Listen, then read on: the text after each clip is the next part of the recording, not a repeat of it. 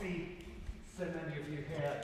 Um, a very warm welcome to um, this lunchtime recital, um, whether you're here in the room, as, as many of you are, or um, watching on our, our live stream. Um, it's been great um, to know how much people are enjoying the live stream concert, and, and we, we, we encourage you to, to, to keep watching, and if you feel so inclined, to um, make a donation um, following the link that you can see um, on the side of your screen. Um, this is the um, last lunchtime concert for this um, part of the semester, but lots more um, concerts coming back after our brief February um, break, um, including the visit of Michael Foyle, um, one of the most exciting um, young violinists um, working today, who's making his first visit to St Andrews on the 4th of March, Friday the 4th of March. Um, we're um, really excited that he's coming. Tickets are now available um, at the Byre Theatre box office, so do um, book that up if, if, if you are able to do. Um, it's a real pleasure to um, welcome Konstantin, who is not only a, a leading international concert pianist based in Vienna, but also a PhD student at the University of St Andrews. And we're really glad that he's able to make his debut in our lunchtime series he here today. So please give him a very warm welcome. Thank you.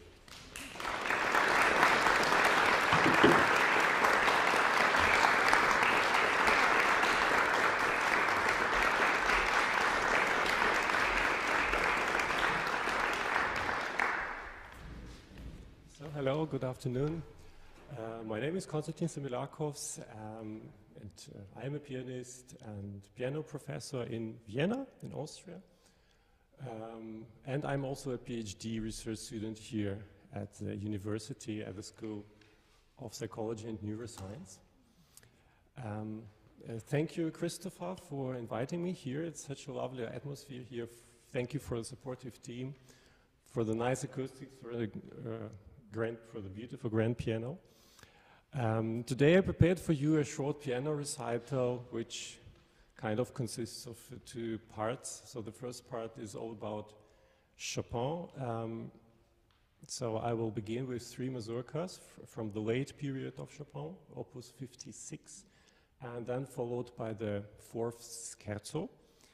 Uh, so what is so special about Chopin? It is probably the most uh, important romantic composer for the piano.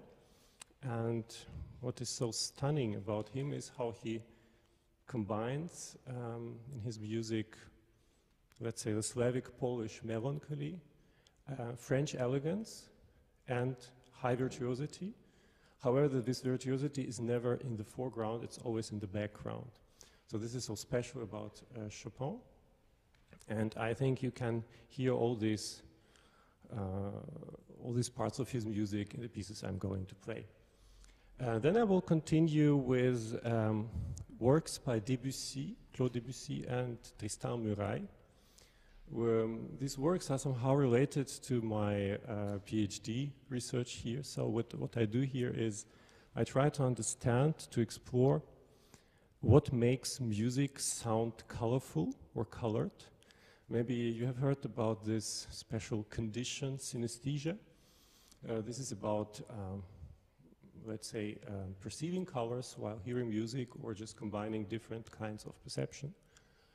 Um, and um, we think that this is related to a, to a specific structure of harmonies, to chords which are structured in a way that uh, people likely perceive them as colored.